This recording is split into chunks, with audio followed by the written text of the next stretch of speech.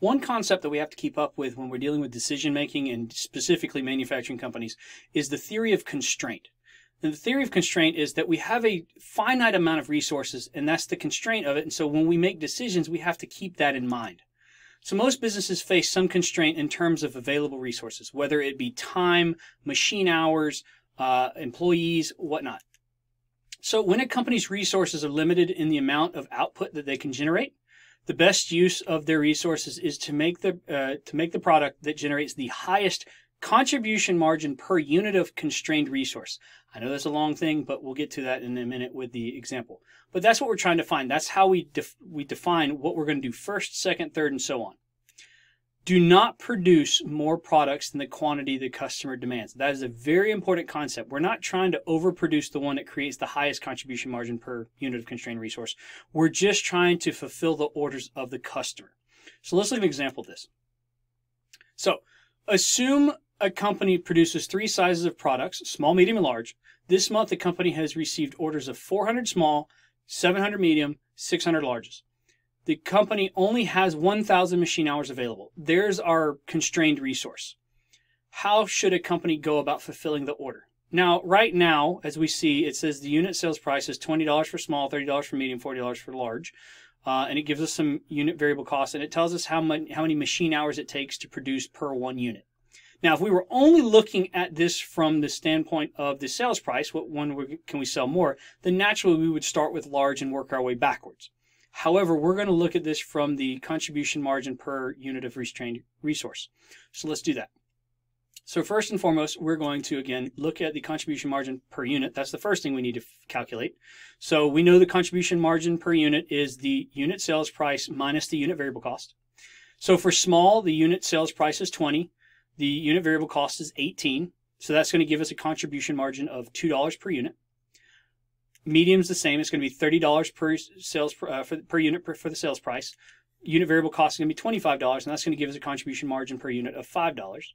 And then large is going to be forty minus the thirty, which is going to give us a contribution margin of ten dollars. Again, if we're using this, then we would do it in the order of large, medium, and small. However, we want to put this into terms of the constrained resource. So now let's take that and put it and try to see if we can calculate the contribution margin per machine hour. We only have a thousand of them.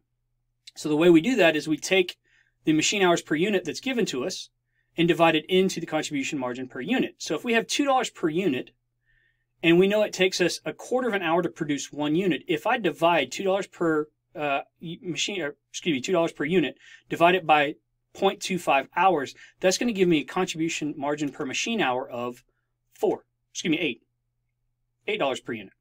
If I do the same thing for medium, $5 divided by one hour is going to give me $5 per unit. And then finally, 10 divided by 4 is going to give me $2.50 per machine hour, should be machine hour. Okay, so now that we have that, now we could actually rate these in order in which we think we need to produce these. So because small has the highest contribution per machine hour, we're going to start that one first. We're going to do all of those until we have no more to produce that's been ordered. And then we're going to move into medium because that's the second highest. And then we're going to move into large. So what does this look like in terms of actual production for the orders that we've got? Well, we have a maximum number of machine hours of a 1,000. We know that it's given to it. So again, first we're going to start with small. So of the small, we know we have an order of 400. And remember, we're not going to produce more, even though it gives us $8 per machine hour. We're not going to produce more than it's ordered. So 400 units times the 0.25 hours per unit it takes to produce, that means I'm going to use 100 hours per unit, uh, or 100 hours total should be, uh, for this order. So take the 100 out of the 1000, I'm left with 900 uh, machine hours to use. Then I move into the second one, which is the mediums. The medium, I have an order of 700 mediums. Multiply that by the one hour per unit, and that's going to give me 700 total hours. If I take that away from the 900, that means that I have 200 hours left to use to dedicate for the, the larges. So larges, I'm kind of have to work backwards on this one because I'm not going to be able to produce all of them. So I only have 200 hours to use. So I know it's going to take me some amount, but I got to figure out how many units I can produce. So how many units can I produce? And it takes four hours per unit to create. If I work backwards, then it's going to find out that I can only produce 50 units of this. So this is how I would produce or fulfill the order. I would only be able to produce 400 small, 700 medium, and 50 large.